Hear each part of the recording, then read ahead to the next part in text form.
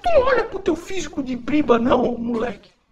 Tu não olha pro teu físico de briba, vai pegar o que com a ganguezinha né, do, do Toé? Da dança do Toé? É a ganguezinha, é, bicho? Você não tá no recreio da escola, não, moleque. A tua ideia, se for ter comigo, vai ser na delegacia.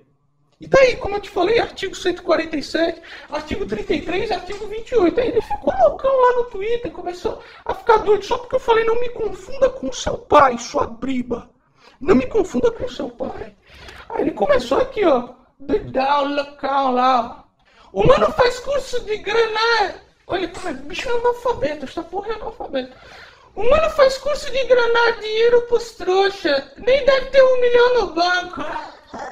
Que aula, irmão? Te ensina a fazer isso da noite pro dia. Bicho, você é aquele tipo de cara patético, de verme, que acha que o quanto você tem é aquilo que valora aquilo que você é.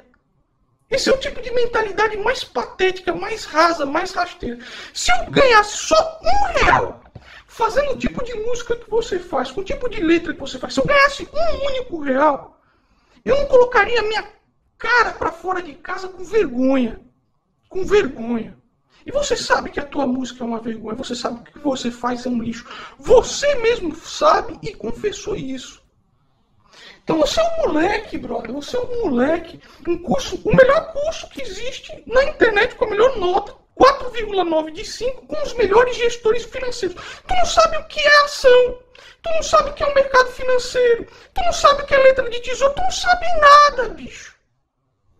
Como eu disse, dinheiro de vagabundo é castelo de areia, é trono de pó. Você vai ensinar a galera a ganhar dinheiro do seu jeito, é? Ganhar a banza do Matuê, é banza do Matuê? Marginal, marginal. O seu lugar é na delegacia, bicho. O seu lugar é na delegacia. Enquanto isso, o povo brasileiro fica refém disso tudo.